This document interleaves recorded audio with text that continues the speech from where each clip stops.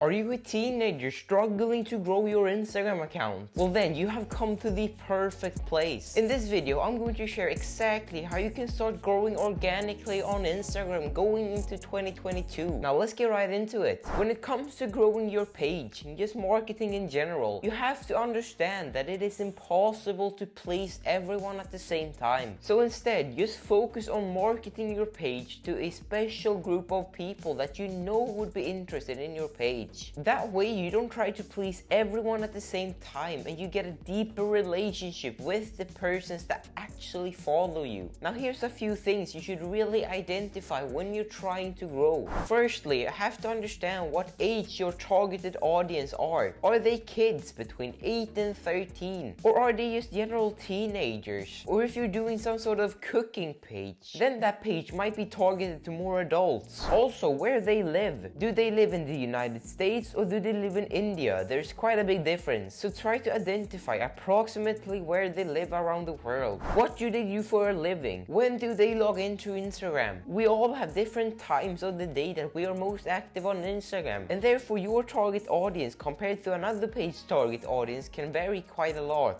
Instagram provides you with some analytics in your insights that show you when your followers are the most active. Try to take advantage of this by posting at the right time. Now now, kinda on the same topic here, users on Instagram love to share and comment on posts that are good. In order for you to catch your audience's attention on Instagram, the first rule is to create engaging content. The more engaging a piece of content is, the more likely they are to share it to their friends. Here are a few tips on creating engaging content and boosting your engagement on Instagram. Firstly, start to upload more videos. Why you may ask? Well, it's quite simple. Videos on Instagram have been proven to get 38% more engagement than just regular plain images. So start to create videos. The second thing is to create content that your audience can relate to. The best content you can create on Instagram will depend entirely on your audience. That's the reason why you need to identify them and after that it's just a matter of creating relatable posts. Lastly, make sure that you use the right hashtags. This will help to generate more engagement and subsequently also more followers on your page. To get this right, research the hashtags that are related to your niche. Then it's just a matter of creating a few lists of relevant hashtags to your posts. If you want to get a more detailed explanation on hashtags, let me know in the comments below. Another crucial part when growing on Instagram organically is to know what pages you are competing with with. To identify your competition, simply combine a list of all the major Instagram accounts that are within your niche. For example, let's say that you are in the food niche. Then a good idea might be to compile a list of the food bloggers and also the theme pages about food on Instagram. That way you can start understand these accounts better and also know what you should be publishing. And also don't just add them up. Ask yourself some questions. What topics do their audience engage with? Which posts are getting the most likes? How often are they posting? And do they have a color theme on their page? Now moving along, your profile and your bio is among the first thing your audience will see when they just came across your page. So to say the least, we can all agree that that is a pretty important thing to master. When setting up your profile, you should have certain aspects in mind. The first being your name.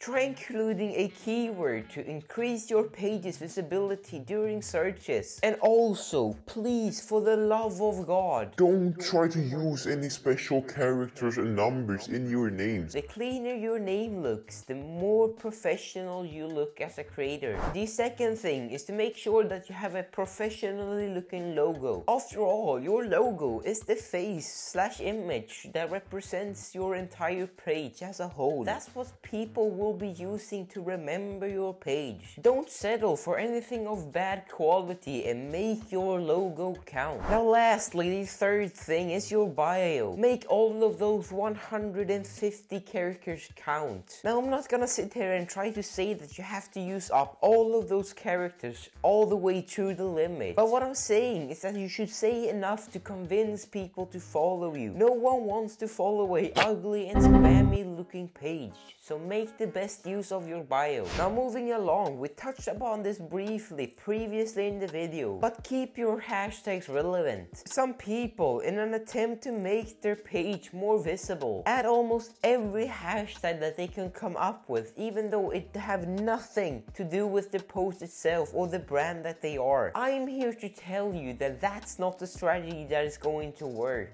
So keep your hashtags relevant and don't ruin your reputation on Instagram. But even though with a cultivated list of hashtags, no Instagram account will grow if they don't post. And that just goes without saying. To jumpstart your account's growth, you should start to post consistently and multiple times per day. By doing this, you will show up on the feed of your followers multiple times per day. And as a result of that, they will start to associate more with your page. And you know, with more engagement also comes more followers. So really, if you post a lot of content that not only relates to your target audience, but also gets them to engage with your posts, you will actually be surprised of how fast that growth can take off. And you know, to make that posting easier for yourself, you can start to schedule your posts. After you have gathered or created engaging content, the next step is to schedule them for the next week week or even the month ahead. The key here is to post at the right time when your audience is active. And you know, one tool I like to use here is actually the Facebook Creator Studio. If you go on there and sign up with your Instagram account, it will have a section where you can not only create the content but also schedule them for the date and the time that they will be uploaded. Now, the absolute last thing you can do to grow organically on Instagram is to collaborate with other similar pages in your niche. To do this, simply identify similar creators that are not only in the same niche but also have around the same number of followers as yourself. To do this, you can simply just go onto the search box on Instagram and search for pages in your niche. They can just go through the accounts that come up and also the suggested accounts that Instagram provides you with. Once you have then identified a page or a few pages that are are in your niche and around the same number of followers, you can start to reach out to these people by DMs and ask them if they're interested in doing some sort of collaboration. Now finally, since you've watched this video all the way here, you're most likely interested in growing on Instagram. And therefore, naturally, I suggest you check out this video here where I show you a hidden little secret to help you grow on Instagram. Now with that all being said though, my name is Oliwer and I'm out.